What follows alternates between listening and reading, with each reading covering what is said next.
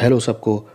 मैं सबका वेलकम करता हूँ हमारी एक बिल्कुल ही नई सीरीज़ में, जिसमें कि हम एक बहुत ही इंपॉर्टेंट डॉक्ट्रिन को, जो कि डॉक्ट्रिन ऑफ़ ट्रिनिटी है, उसे देखने जा रहे हैं। एटलीस्ट हम इसके इस्लामिक नज़रिए को देखेंगे और फिर चलते हुए आएँगे कि बाइबल इसके बारे में क्या कहती है। जैसा कि आप देख ही रहे हैं कि मैं पहले एक मुसलमान रह चुका हूँ।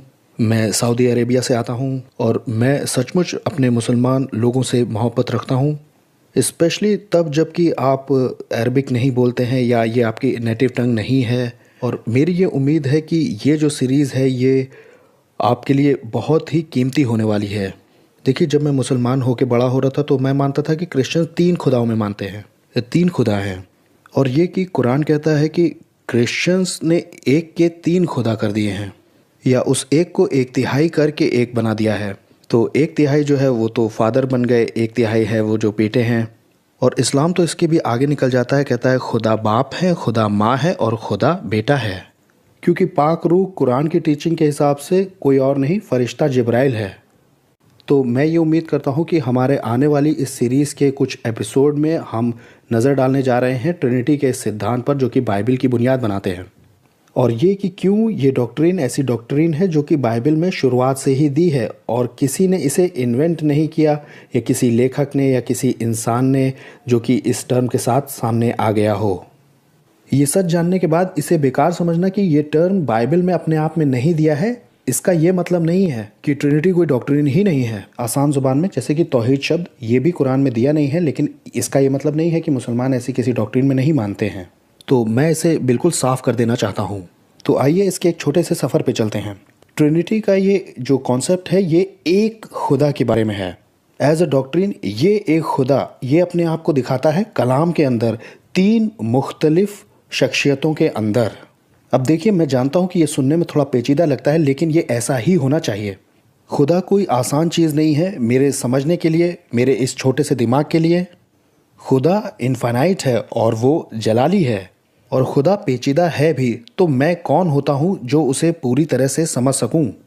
तो ये उसने चुना कि वो अपने आप को हम पर इस तरह से ज़ाहिर करे कि एक खुदा, जो कि तीन शख्सियतों में है। अब, कुरान दरअसल इसे बिल्कुल अलग ही तरीके से सिखाता है। दरअसल कुरान ये कहता है कि क्रिश्चियंस तीन खुदाओं को मानते हैं। मिसाल के तौर पे कुरान का यहाँ पर एक पैसेज दिया जा रहा है चैप्टर फाइव और वर्स सेवेंटी थ्री सूरा अलमायदा सेवेंटी थ्री जो कि बेसिकली मेज़ है। यहाँ ये कहा गया है कि ये तो बेहुरमती करते हैं जो कहते हैं कि अल्लाह तीन में से एक है ट्रिनिटी के अंदर। लेकिन बात तो ये है कि बाइबल असलियत में ये सिखाती ही नहीं है। बाइबल सिखाती है एक खुदा की इबादत के लिए। और यहीं पर ख़ास कर ये आयत ये बताती है कि इस आयत का लिखवाने वाला खुदा हो ही नहीं सकता। ये खुदा नहीं हो सकता। बाइबल के अंदर अगर खुदा ने अपने आप को एक खुदा तीन शख्सियतों के अंदर दिखाया है और अगर सचमुच वो ही कुरान का भी लिखवाने वाला है तो वो इस तरह की चीज़ को कैसे चूक सकता है? या किसी ऐसी टीचिंग का दावा कर दे, जो कि बाइबल की टीचिंग के बिल्कुल ही खिलाफ है। तो हम जो मसीह में ईमान लाए हैं, हम तीन खुदाओं की इबादत नहीं करते। क्योंकि अगर हम सचमुच तीन खुदाओं की इबादत करते हैं, तब तो ये ब्लैस्फमी है खुदा के खिलाफ। और बुनियादी तौर पर यही बुत परस्ती है। और इससे बढ़ के ये कलाम बिल्कुल भी नहीं सिखाता है। आइए मैं इसे और आसान करता हूँ। इस समय के लिए ये एक ग्राफ है जो कि मुझे लगा कि बड़ा मददगार साबित होगा। और मैं उम्मीद करता हूँ कि ये ग्राफिक एक्सप्लेनेशन आपको भी बहुत मददगार साबित होने वाला है। हम जो मसीह में ईमान लाए हुए लोग हैं, बाइबल के हिसाब से हम इन बातों पर इबादत करते हैं। हम एक खुदा की इबादत करते हैं, इसे मोनोथिज़म कहते हैं। हम ना ही तीन खुदाओं को मानते हैं, ना ही दो खुदाओं को या चार खुदाओं को मानते हैं, क्योंकि ये होता पॉलीथिज़म और ये बाइबल बिल्कुल भी नहीं सिखाती। और इस एक खुदा ने अपने आप को हम पर ज़ाहिर किया है तीन अलग शख्सियतों के अंदर, बाप, बेटा और पाक रूह। और हम कलाम के हिसाब से ये ईमान नहीं करते हैं कि ये खुदा अपने आप को बदलता रहता है। अपने मोड को कि एक समय पर वो बाप है, एक समय पर वो बेटा है और एक समय पर पाक रूह है। और अगर ये केस होता तो इसे मॉडलिज्म कहा जाता, जो कि हेरसी है कुफ्र और ये स्क्रिप्चर्स बिल्कुल नहीं सिखाते हैं। इससे बढ़ के ये जो एक खुदा है, जिसकी हम इबादत करते हैं, जो अपने आप को तीन मुख्तलिफ़ शख्सियतों में दिखाता है, ये तीन शख्सियतें एक साथ एक बराबर हैं, एक साथ को इटर्नल हैं, और ये खुदा के सारे ही नेचर और क्वालिटीज़ को शेयर करते हैं।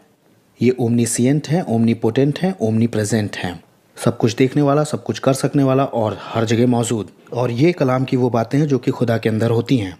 और हम ये भी नहीं मानते हैं कि आपस में इनके अहदों में कोई कमी है कि खुदा बाप, खुदा बेटा और खुदा रूह ये कम है एक दूसरे से। क्योंकि अगर ये वाला केस होता तो इसे सब ऑर्गेनिज्म कहते हैं और ये भी कुफ्र ही है। तो मैं समझता हूँ कि इस चार्ट ने आपको ट्रिनिटी के इस डॉक्ट्रिन को थोड़ा आसान किया होगा, जैसा कि स्क्रिप्चर्स में दिया है। अब मुझे ये भी उम्मीद है कि ये जो छोटा सा शॉर्ट इंट्रोडक्शन था इस एपिसोड का, जिसमें कि ये चार्ट भी शामिल था, और इसने आपकी मदद की होगी ये समझने में कि मेरा क्या मतलब है ट्रिनिटी की डॉक्टरीन से, और किस चीज़ में क्रिश्चियंस का ईमान होता है। और अपने आने वाले एपिसोड्स में हम एक सर्वे को करेंगे, हम एक सफ़र पे चलेंगे, वो भी पुराने नियम से नए नियम तक। खुदा की इस डॉक्ट्रिन को देखने के लिए जिसमें उसने अपना मुकाशफा दिया है। जिसे कि हम पूरी बाइबल में ही पाते हैं, ट्रिनिटी के इस डॉक्ट्रिन को। एक ट्रायून गॉड जिसने अपने आप को तीन शख्सियतों में ज़ाहिर किया है। बाप, बेटा और पाक रूह। और कैसे ये डॉक्ट्रिन चमकती हुई दिखाई देती है पुराने नियम से नए नियम तक।